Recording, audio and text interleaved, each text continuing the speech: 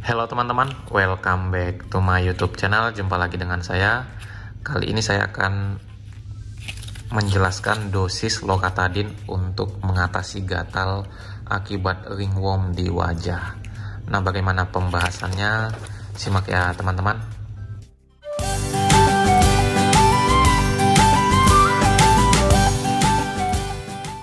Jadi teman-teman, loratadin ini merupakan suatu antihistamin yang golongannya sedikit berbeda dengan cetirizine. Tetapi obat ini juga e, mirip cara kerjanya dengan obat cetirizine ya teman-teman.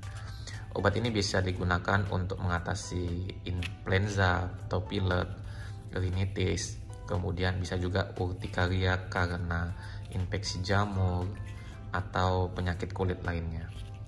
Jadi loratadin ini Eh, seperti yang saya katakan tadi bisa digunakan untuk mengatasi ringworm gatal akibat ringworm di wajah.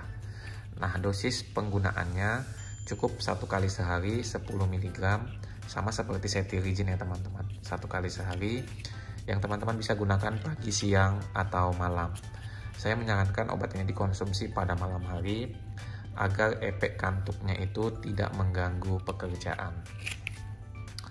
Jadi eh, selain obat gatal ini, maka teman-teman butuh obat kausa atau obat yang memang betul-betul meng menghilangkan dari ringworm atau jamur di wajah tersebut.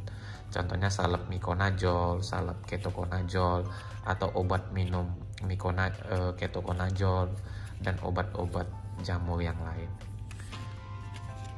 Nah, tetapi obat ini hanya untuk mengatasi rasa gatalnya saja.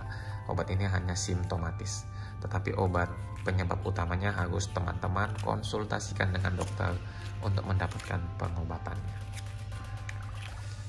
Oke teman-teman, semoga bisa membantu. Jangan lupa like, komen, dan subscribe serta bagikan bagi teman-teman yang membutuhkan. Terima kasih, salam sehat.